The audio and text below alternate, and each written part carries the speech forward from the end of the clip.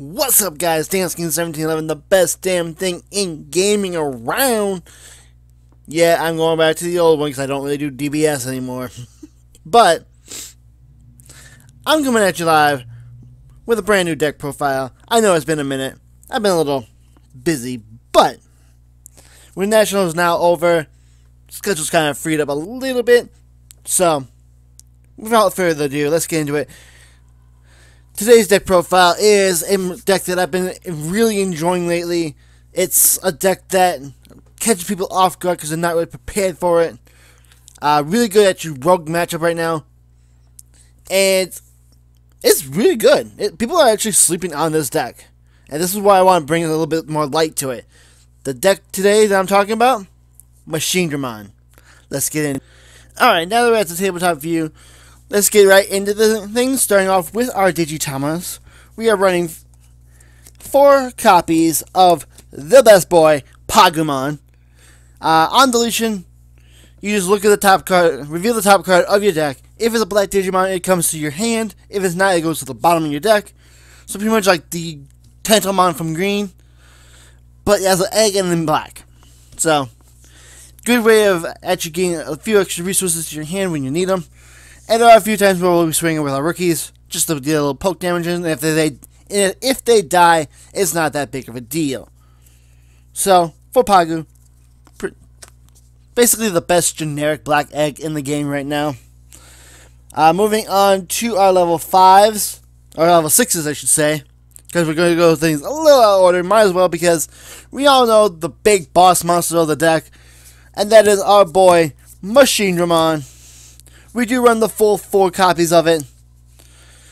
And why not? Because he is such an amazing card. 12 costs to play, so you need to be at least 2 on your side to actually play it. Then on play, you add to the bottom of this card up to 5 level 5 cyborgs in red or black. And for each one you add, you gain a memory back. Then on all turns, you see he cannot be reduced. And all turns, if this card would be destroyed by a battle or card effect, you can remove two sources from him, or two level 5 sources from him specifically, and he cannot be del deleted. So you might be asking, but we do actually have one other level 6 in the deck that we run, and that is one copy of Gundramon.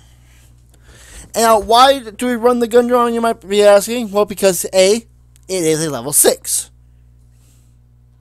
And it happens to be a level 6 machine. You'll see that with some of the inheritables on the level 5s, being a level 6 machine is actually very important. On top of that, it helps us fill our grave, our trash with with his on digivolving effect. There's only one target for his for his option effect that we can that we run in the deck. So he's a good way to fill our graveyard or trash. And he's a machine that works with a bunch of the other inheritables that we have in the deck. Moving on to the level 5s. Make sure I got them all here. Yep, okay. We'll start things off with two copies of Metal Tyrannomon. We'll we also have two copies of Andro. And two copies of Metal Mamemon. Now, why am I doing all three of these together? Well, because they all have similar when digivolving effects. They all say you may reveal the top three cards of your deck and grab a level 6 machine from among them. Which is really good because it gets you any one of your level 6s. And then they also have, each have a different inheritable. Metal Tyrannomon, when it's, when it's under a machine type, gives it uh, reboot. Andromon, the same thing for re- for with blocker.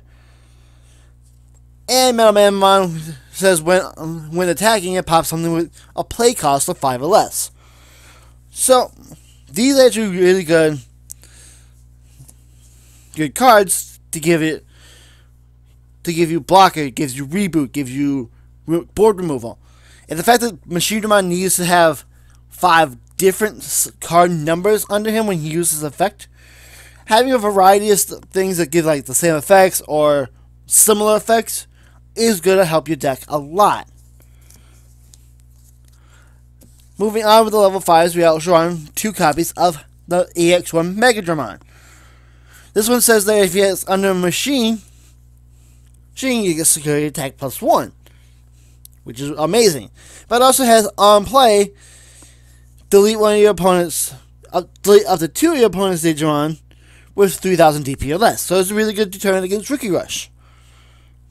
Now, it being red and not being able to, and that with it only being red, you would not be able to go into Gundramon off of this, but you still can Digivolve into your Machinedramon off of it, because Machinedramon is red or black. And you don't have the one source then, but if you just need the draw, it's not that bad of a, of a play to do. But we're mainly using him in here for his inheritable. The last level 5 that we run more than one of is two copies of Rise Greymon.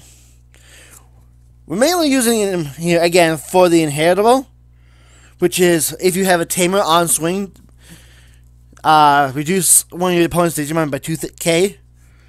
It comes up every once in a while, mainly against memory blockers such as ModokiBetamon or Gazimon, because all the memory blockers, like those guys, happen to be 2k or less. So this gets rid of them very, very easily. And it doesn't need to be under a machine. It can be under anything when you do it. It just happens to be just run machines.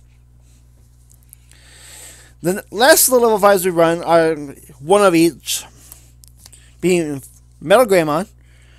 This one is more is a little bit more flexible than the Megadron, in the fact that it's when attacking, you can pop something with 4K DP or less, and is inheritable works for both Machine and Dragonkin, and it gives them piercing. So this could also go under, say, a War Greymon. But that, we're using this right here. We also have one copy of BT6, or is it? Yeah, BT6 Megadramon. Consists both red and black, and during your turn, you get, we get plus 2,000 power. Not bad. One copy of Volcanomon. Uh, gives us a security attack plus one if they have something that's unsuspended. Which, again, it's like, say, Lord Knightmon. Really good because I'm most likely going to have something unsuspended. One starter deck Megadramon. Just to give us another source of blocker. And one BT6 Gigadramon, which gives us plus 2000 DP on our opponent's turn, making our Machinedramon just a little bit more beefy. Next, let's talk about the level 3s in the deck. Okay. Let's talk about level 3s in the deck next. Obviously, we're going to run the, the standard 4 copies of Hagurumon. On play, you discard a cyborg or machine type Digimon from your hand, and you draw two. So it's a really good way to cycle your hand. It's a net zero on hand size, but the fact that you're getting a body on board and getting rid of, say, a level 5 to the trash where you want it for your Machinedramon to get another draw, another card in the hand, really good. And it's like staple in the deck. So, up next, we also run three copies of Chikurimon. Uh, this is something that we can digivolve our Pagumons into, as well as being a really good bombing security. Whereas if they hit do hit this insecurity, they will it'll digivolve one of the Digimon by one stage. Really good against Jesmon, really good against Gabubond, really good against Agubond. Good against a lot of decks in general. The last rookie we do run is three copies of Chumon. We do have our own memory blocker in the deck. Really good against stuff that uses memory boost. Uh, really good against blue in general. Um, so yeah, card is amazing. You definitely want to run these in your deck no matter what. Because memory blockers are very important in the meta right now. And moving on to level 4s now. I know we got a little out of order, but we do run three copies of Guardromon.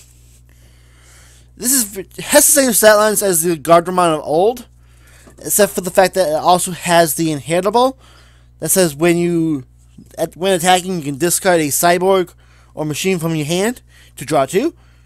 And this is just more more hand filtering. It actually is a plus one on hand size because you're not you're doing it when you attack as an inhitable rather than on play. So you discard one, draw two. I'll say this right now. The draw power in this deck is phenomenal. We also run three copies of Dark Tyrannomon, which is standard one one cost blocker in the deck. Helps out a lot when you want to choke your opponents. So, really good card. And last but not least, we do run two copies of Mekanorimon. Mekanorimon is just such a, an amazing card in the format right now. Stops a lot of the rookie rush strategy, stops uh, bonds that want to swing early. With the rookies, um, shuts down a lot of things right now. And the fact that we can pump him up in power with a couple of our tamers makes him that much more deadly. We do run one level 7 in the deck, that is Omnimon Zwart. Just the fact that we can bounce, we can Digivolve over our Machinedramon, swing with this, and then bounce our Machinedramon back to our hand to reuse it later is amazing. And the fact that, also the fact that it's 15k, not a lot is going to be surviving against that. And it helps us spread our board out a little bit. So, really good card in the deck. Moving on to the Tamers in the deck, we do run two copies of Tai Kamiya. He is our memory tamer of, in the deck, and the fact that he pumps up all our black Digimon by 1,000 by 1,000 during our opponent's turn is such, it's just so helpful. And just being able to start at three every turn makes it so we guarantee be able to drop a Machinedramon whenever we want. We also run three copies of Analog Youth. On play, reveal the top three cards of your deck, grab one Digimon from among them, send the rest to your trash. So this can help us grab our Machinedramons, can help grab us our Hagurumons if we need them. Pretty much anything with, that we need within those top three, we can grab with this.